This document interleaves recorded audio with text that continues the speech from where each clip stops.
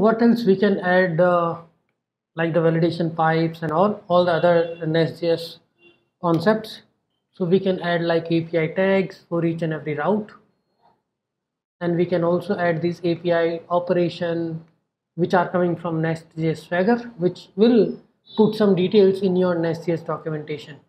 And the validation pipe use pipe so we have to import all those things so validation pipe is to validate your payload. And the API tags in the Swagger documentation it will create an individual tag for your application. Let's say this is for notes. Right so same thing we can add everywhere.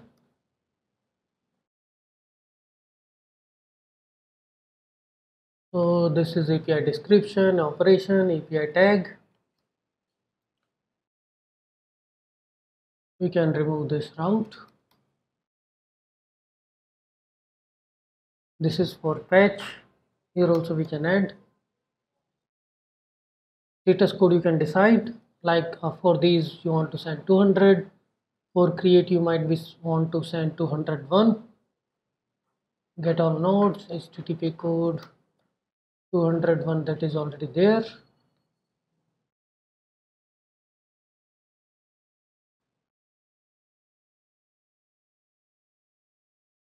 okay so same thing you can add uh, to all the routes. That will add some description to your APIs and you can put the description here okay this is for delete, delete put some description so that same thing can appear on your swagger documentation. Okay now what other things we can do is we can add a few more validations so this is the note id of type id we can just keep it as an id instead of note id and we are sending this id here.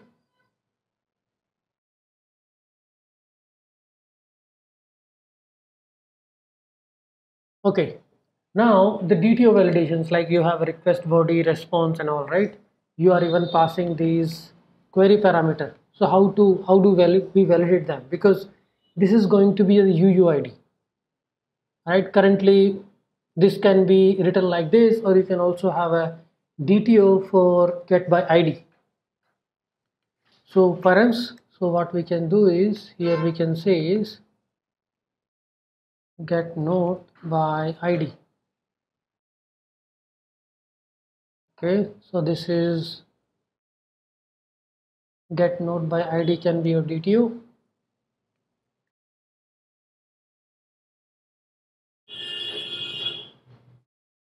so let's create one DTO here.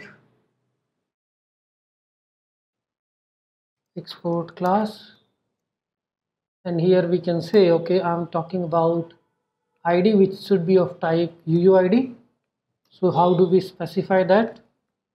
ID is of type string here we will do all the descriptions API property. This is the tag which we can add. Okay API properties there. This talks about okay what is the description and all what is this particular attribute is for if it is required true or false. So it will add only all those things into swagger and here we will we will use class validation saying that this is should be of type UUID is UUID we will get from class validator. It should be let's see where we can get or we need to add the class validator is already there I think or we can add npm install minus minus save class validator and class former.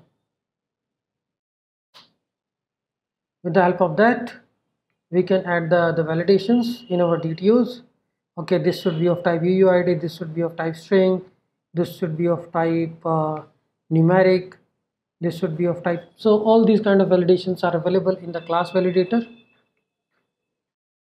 So this should be simply like so we can use the API property and UUID is UUID we are getting from class validator. This is good. Okay and this is required right? So get node by id that means you should have to pass the query parameter id of type UUID otherwise it will break. I mean it will give you the 4 uh, 400 bad request. We will import this and everywhere we can just pass this id is dto dot id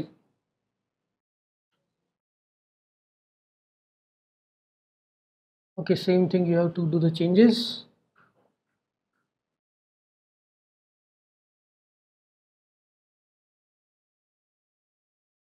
so in query parameter we are passing update node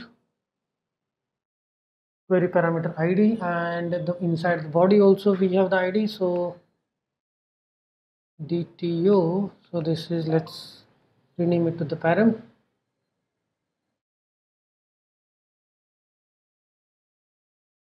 So it will become param.id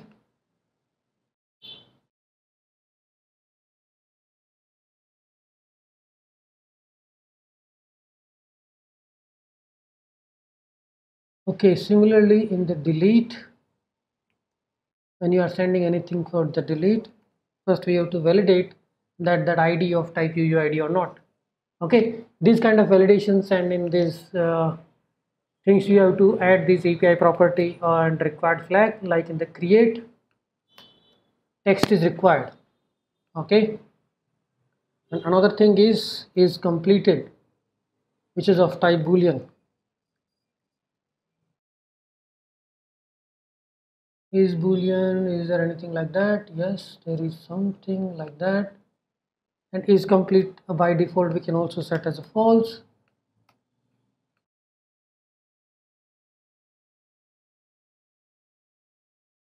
This is coming inside a payload right? So we are setting all these both required true. Similarly we can just put this is a text right? So it should be is string and is string we can import from the class validator. Now update. In the update what you need is completed boolean and all. So we can add the the validation. What is required what is not required we can decide. Okay is completed is not required. So we can mark it as required false. Is boolean so we can just we can we don't need to add a validations here but here is this is a string this is required and we can import the same stuff from the class validator inside update also so it's like a basic things uh, which you can write. We have already written very complex applications and DTOs and all. And we already know how to do all these things. Now, what is the next thing we are targeting is, first of all, getting these APIs running and then writing the test cases.